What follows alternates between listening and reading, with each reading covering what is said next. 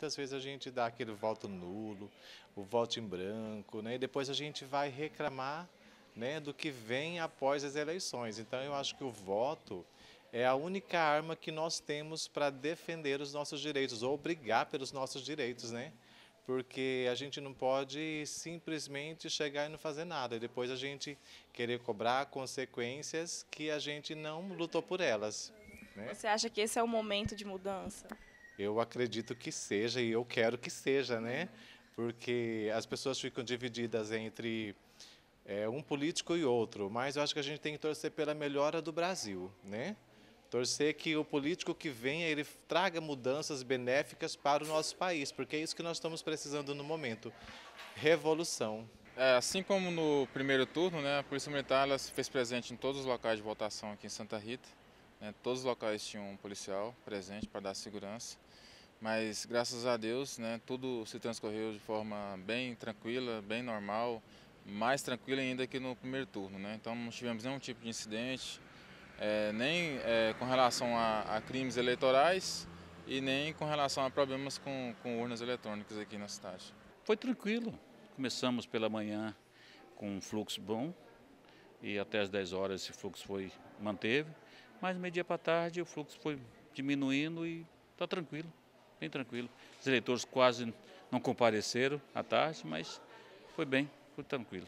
Esse aqui é o local de votação com o maior número de eleitores aqui em Altaraguaia. Houve algum problema aqui na, nessa, nesse local de votação?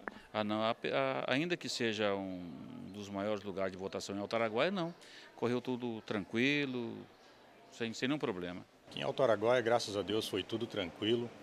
Empregamos 12 policiais militares para atuarem exclusivamente no pleito eleitoral e a população de Alto Araguaia foi bastante ordeira, contribuiu bastante para que não houvesse nenhum tipo de ocorrência na cidade. As eleições foram muito tranquilas, não teve nenhuma ocorrência de destaque, algumas urnas foram substituídas e a população votou é, com agilidade, né? nós percebemos que o pessoal não teve dificuldades para fazer o seu voto, conforme no primeiro turno tivemos algumas notícias e espero que daqui uns 20 minutos mais ou menos o resultado final já saia aí nas, na imprensa. O turno foi bastante tranquilo.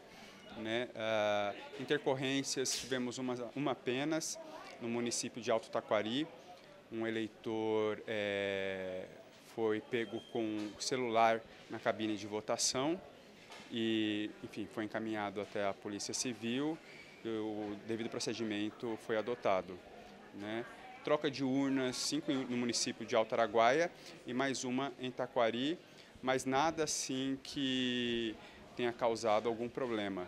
Como todos já sabem, a justiça eleitoral ela é preparada, inclusive, ah, para essas situações. Né? Temos urnas de contingências e algumas, então, foram trocadas. Em Alto Araguaia não teve nenhuma ocorrência nesse dia? Não, tudo bem tranquilo, e bem tranquilo mesmo. Assim. É, os locais de votação ah, bastante é, vazios, sem filas, porque um candidato apenas, então é, o voto era bem rápido né, de ser efetuado, então tudo na maior tranquilidade.